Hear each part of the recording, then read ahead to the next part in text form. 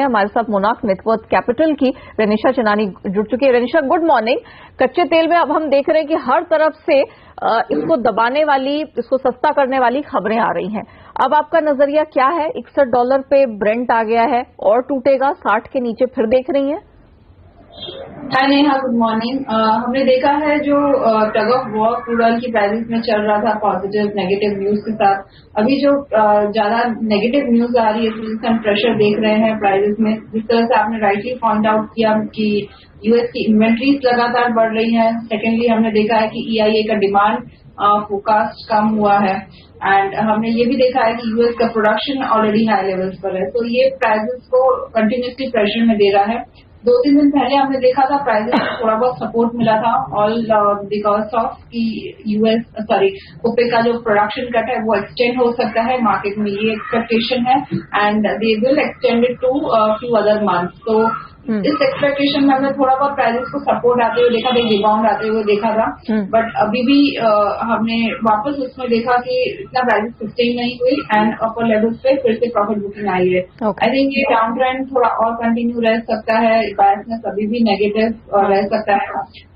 Down side में I am expecting जो W D I crude oil है it can touch psychological support support of fifty dollar and and six फिर मैं expect करी thirty six hundred तक के prices देखे जा सकते हैं। सो सेरा लेनीस का व्यू रहेगा इंट्राडे के लिए थर्टी सिक्स सिक्सटी के आसपास मैं सेल रिकमेंड करूँगी। With stopper of thirty six ninety down side में थर्टी सिक्स हंड्रेड का स्टॉपर टारगेट रहेगा।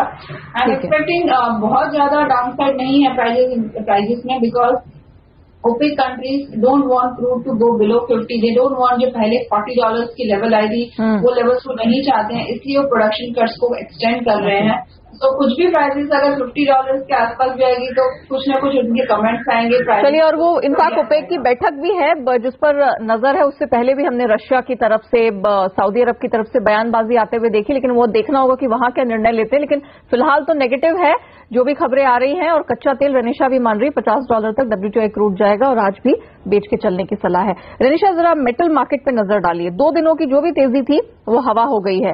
लेड जिंक निकल सब लाल निशान में आधे से एक परसेंट नीचे ट्रेड कर रहे हैं। क्या करें? या आई थिंक बेस मेटल्स में अभी भी ये नेगेटिव ट्रेंड कंटिन्यू रह सकता है बिकॉज़ यूएस चाइना के ट्रेड कंसर्न अभी भी बने हुए हैं। एंड uh, जिस तरह से मिस्टर डोनाल्ड ट्रंप के कमेंट्स आ रहे हैं पहले उन्होंने uh, दो दिन पहले कहा कि अगर mister Jinping G twenty meeting में नहीं आते हैं तो वो ट्रेड की टॉक्स uh, नहीं करेंगे उनके साथ हम्म। फिर कल उनके अभी ऐसे कमेंट्स आए हैं कि China is the one who has broke the promise जो पहले नेगोशिएशन हुई थी उनकी। तो सो नेगेटिव कमेंट्स से सेंटीमेंट जो है ओवरऑल नेगेटिव हो चुका है। एंड ये डायरेक्ट इम्पैक्ट करता है बेस मेटल प्राइजेस को because China is the biggest consumer so we are seen की prices are not able to sustain at high levels फिर से सेलिंग सेल ऑफ़ देखा गया है। सो so, आज इंट्राडे में व्यू नेगेटिव रहेगा। मुझे लगता है अभी भी यहाँ से थोड़ी और डाउन साइड देखी जा सकती है। सेलिंग करनी चाहिए कॉपर में हम फोर हंड्रेड फाइव तक के टारगेट देख सकते हैं। Other commodity I would recommend is lead वहाँ पर भी मुझे यहाँ से डेढ़ से दो रुपए की सेलिंग लग रही है। इवन निकल में भी काफ़ी सेल ऑफ़ बना हुआ है। So we sell off in nickel also so copper lead निकल इन तीनों में आप सेलिंग की जा सकती है। कॉपर लेड निकल सबको बेच के चले। दो दिन की तेज़ी हो गई है हवा और रुपया भी है मज़बूत तो उसका दोहरा प्रेशर है, वो स्ट्रैटेजीज आपकी स्क्रीन पर। रेनिशा, बनी रहेंगे हमारे साथ। हम लेते हैं एक छोटा सा ब्रेक ब्रेक के बाद जब लौटेंगे, सोने और चांदी पर होगी नज़र।